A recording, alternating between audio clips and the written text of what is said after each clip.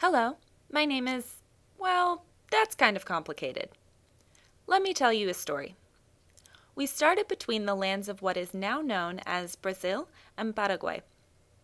The Tupi people, native to where we originally grew, called us nanas, which meant excellent fruit in their language.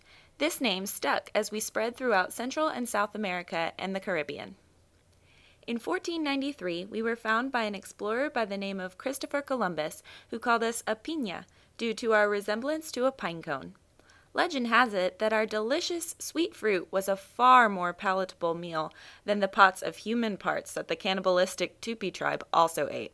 But that's a matter of taste. Columbus took us on a voyage to Europe but did not officially record our discovery.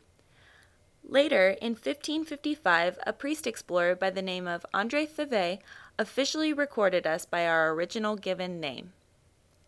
Throughout the years, we have traveled all over the world by three names pineapple and piña, and ananas, or a variation, in the rest of the world.